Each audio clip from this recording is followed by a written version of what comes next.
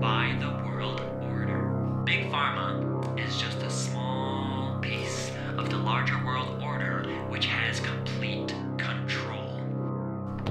These medications are going to make you feel worse than the actual disease. They're hiding the truth from us. We can't stand for that. Today I have a video that is most intriguing